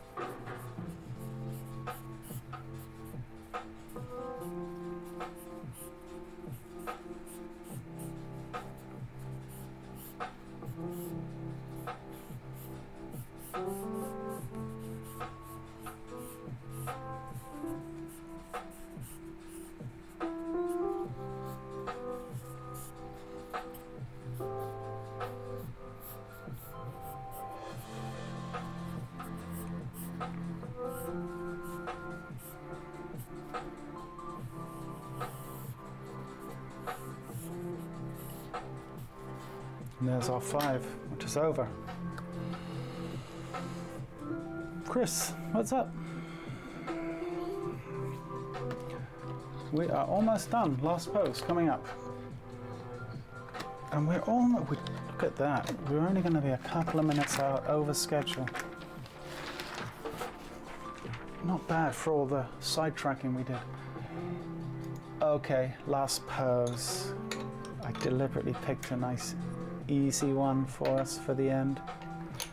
See, you're welcome. You're welcome. Sorry, I need to find a pencil.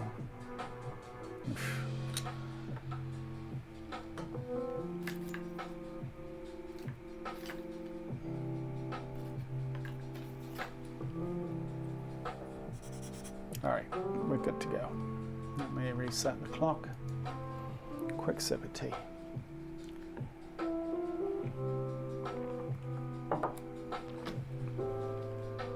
Let's do it, guys. Cinco minutos.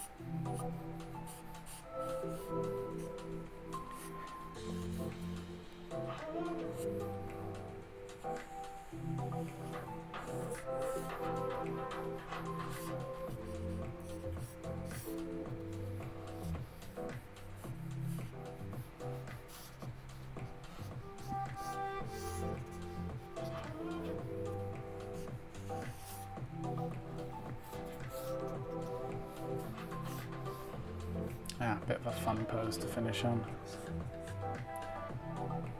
Simple. Well, you know, relatively. It's all relative, right? Pectoral.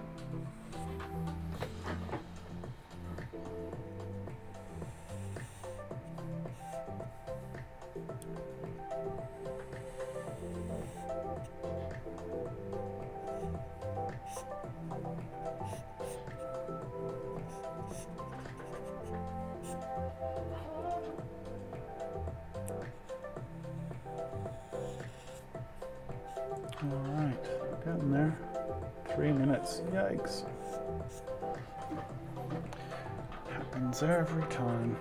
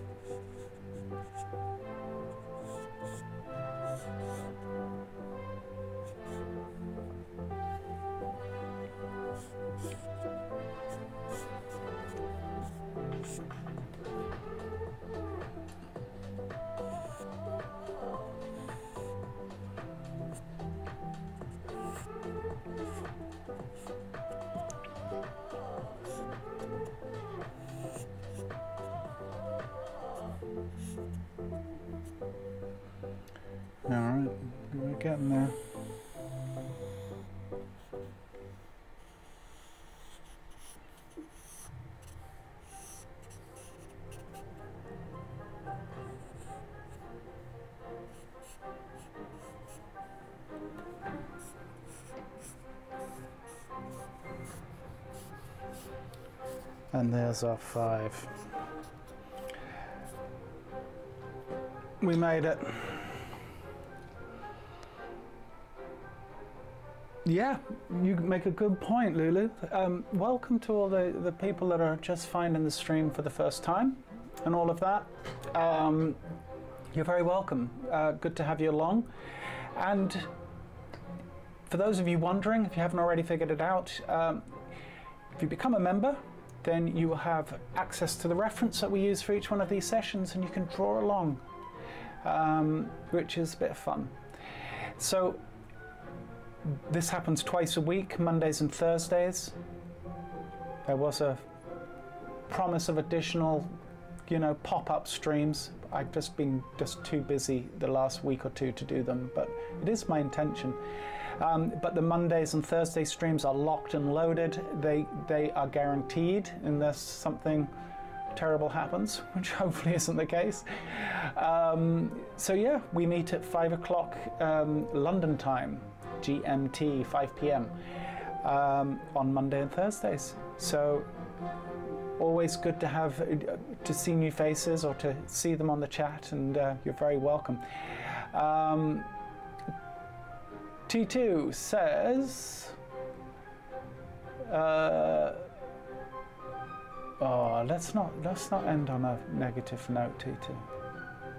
Yeah, General's quality control is up and down. Yep, scratchy, scratch, scratchy pencils. I bought five boxes of scratchy pencils from Generals. Mm-hmm. Yeah, it's, it's bad. I agree. Um, they're just not consistent, unfortunately. Um, and we discuss things like that, many other things on this stream twice a week. and uh, you get to hear me rant about General's pencils, all kinds of things. The state of the art world. Haven't really got into that too much. It's coming. Um, Anyway, never held a scratchy Conte. Wow, Volvo, do you work for Conte? You're really, you're really pushing Conte today. You know, I, Conte, in my opinion, suffer from a similar issue. Find them a little scratchy. It's one of the reasons you won't see me use Conte on the stream. Yeah, it's true. True facts. Um, folks, that was a nice, fun session, right? I think we, we had some nice poses there. They were relatively straightforward for the most part. We needed that after Monday's session, which almost broke me. Um, but next Monday, legs, legs, legs, and more legs. Um, we will look at them, we will examine them, we will do a deep dive to one degree or another. I might even pull out some anatomy stuff to share with you guys. Um, so, with all of that said, you know the drill. Please do me a favor, hit the like button on your way out, and most importantly, look after yourselves and have a fantastic weekend. And I will see you all next week. All right, cheers, take care, bye.